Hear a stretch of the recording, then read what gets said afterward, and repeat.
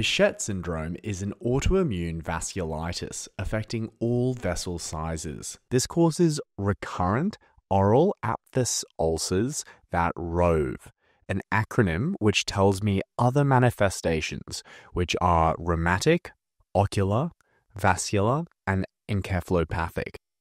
Its pathogenesis is thought to involve genetically susceptible patients who are exposed to a range of environmental triggers, leading to an aberrant immune response. Certain human leukocyte antigens, particularly HLA B51, is associated with this disease. Remember that these HLAs encode for specific MHC proteins which are used to present antigens to lymphocytes. Other associated genes include polymorphisms in the TNF and interleukin receptor genes. Environmental triggers include microbiome alterations, consuming certain histaminergic foods, and stress.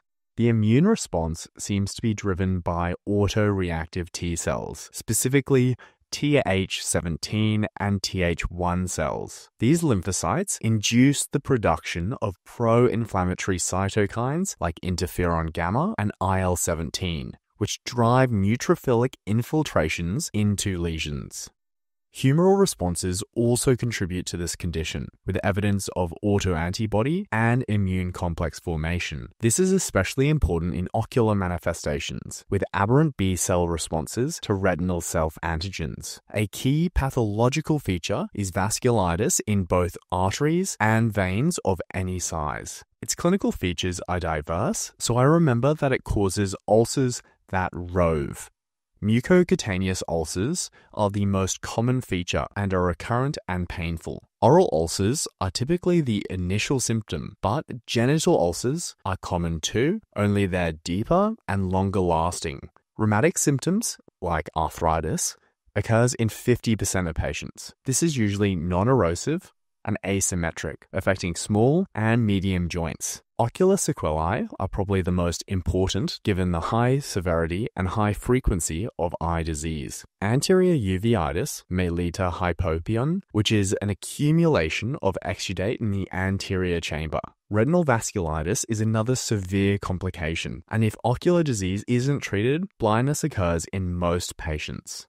Vascular disease might include arterial and venous manifestations like aneurysm and severe venous thrombosis, inducing things like Budd-Chiari syndrome. Encephalopathy is my way to sneak in neurologic manifestations, including parenchymal sequelae like encephalopathy, but also non parenchymal disease like central venous thrombosis.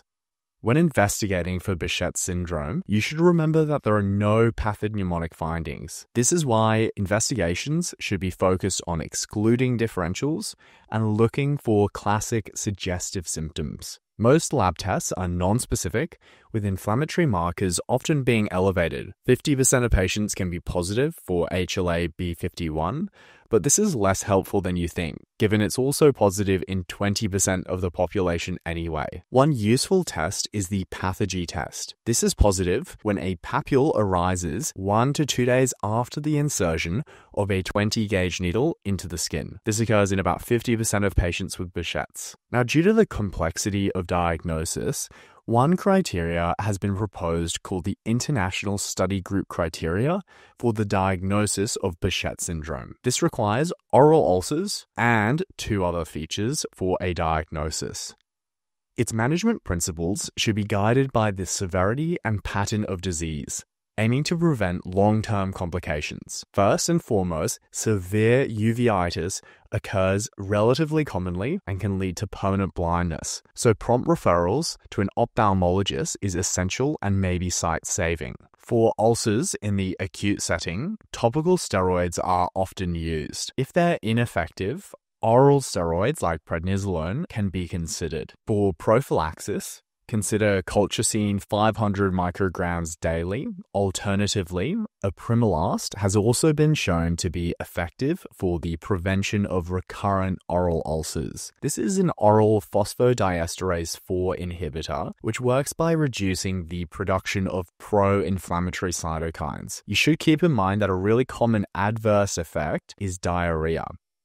Major organ involvement, like eye disease and vascular manifestations, are often managed with immunomodulators, especially azathioprine. This is an anti-metabolite that can impair lymphocyte proliferation. You must remember that it interacts with allopurinol and febuxostat, which can reduce azathioprine metabolism, increasing the risk of severe bone marrow toxicity. For most patients, though, once disease has improved, you can consider reducing medications after about two years.